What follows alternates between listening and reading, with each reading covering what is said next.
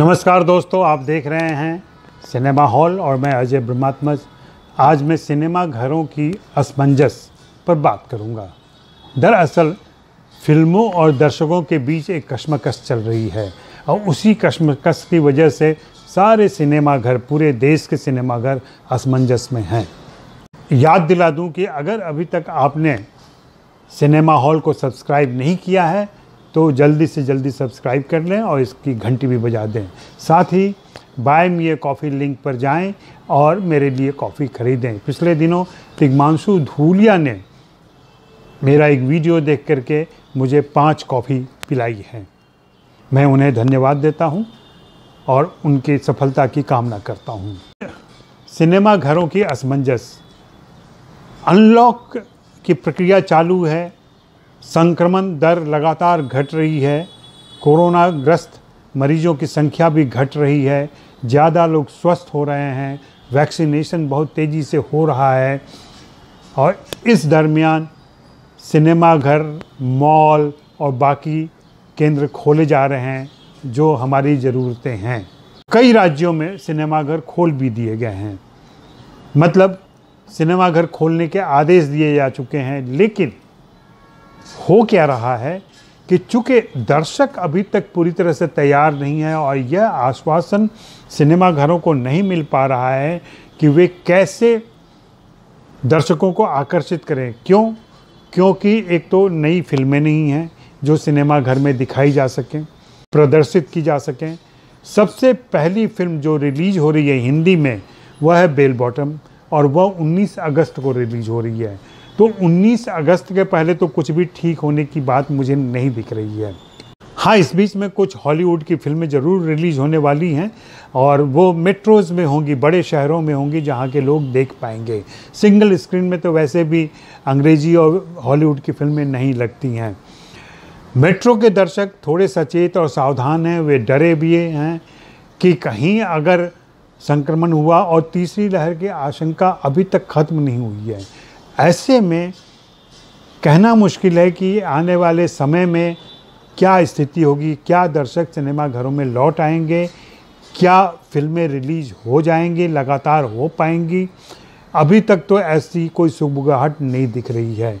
निर्माता भी हाथ पर हाथ धरे बैठे हैं, वे भी सही वक्त का इंतज़ार कर रहे हैं ताकि अपनी फ़िल्मों की घोषणा कर सकें। हमें याद है कि इसी साल फरवरी में जब लग रहा था कि सब कुछ सामान्य हो रहा है, तब धड़ाधड़ धड़ाधड़ दर्जनों फ़िल्मों की घोषणा हो गई थी, तारीखों की, कि रिलीज़ होंगी। और तैयारियाँ चल रही थी सिनेमा घरों में तैयारियाँ चल रही थी, मानक संचालन प्रक्रिया आ गई थी। लेकिन हुआ क्या? मार्च बीतते बीतते बल्कि मध्य मार्च में ही कोरोना की दूसरी लहर इतनी तेज आई, आंधी की तरह आई कि सब कुछ ठप पड़ गया। वही बात तीसरी लहर की आशंका को लेके है। अगर तीसरी लहर आई तो क्या स्थिति होगी? क्या ये दूसरी लहर से कमतर होगी या उससे ज़्यादा होगी? उसका एक डर है। इसके अलावा सिनेमा घरों में ये नियम लगाया जा रहा है कि जो वैक्सीनेटेड होंगे, वही फ़िल्में देख पाएँगे। या कम से कम एक टीका ले रखा हो, उन्हीं को अनुमति मिलेगी सिनेमा घरों में जाने की। हम जानते हैं। उन्हें इस बात की दिक्कत नहीं है। दिक्कत निर्माताओं की है। दिक्कत सिनेमा घर के मालिकों की है कि उनका बिज़नेस मारा जा रहा है और लगातार मारा जा रहा है। रियायत के नाम पर सरकार ने अभी तक क्या रियायतें दी हैं उनको? उनके शुल्क माफ़ किए कि नहीं किए? उनके बिजली बिल माफ़ किए कि नहीं किए?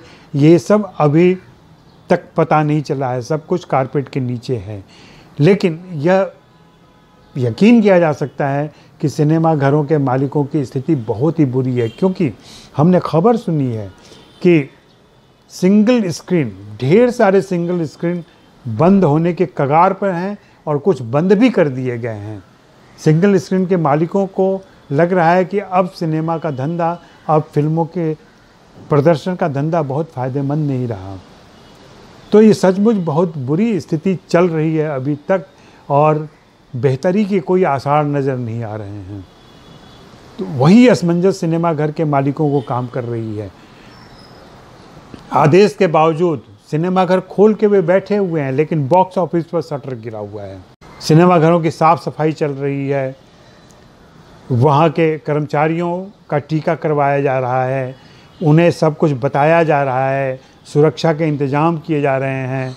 साफ़ सफ़ाई के इंतज़ाम किए जा रहे हैं सैनिटाइजेशन के इंतज़ाम किए जा रहे हैं और यह गारंटी करने की कोशिश की जा रही है कि दर्शक आएगा अगर तो वह सुरक्षित रहेगा। ज़रूरी यह है कि सोशल मीडिया के ज़रिए पत्र पत्रिकाओं के ज़रिए टीवी के ज़रिए सिनेमा घर के मालिक एक प्रचार करें, जिसमें फ़िल्म इंडस्ट्री भी उनका सहयोग दे कि कैसे सिनेमा घरों में जाना एक सुरक्षित फैसला हो सकता है। तो देखें यह असमंजस कितनी जल्दी ख़त्म होता है और दर्शक सिनेमा घरों में फिर से लौटते हैं, बॉक्स ऑफ़िस की चमक लौटती है और फिर से स्टार गुनगुनाते हैं और मुस्कुराते हैं। शुक्रिया, मेहरबानी, धन्यवाद।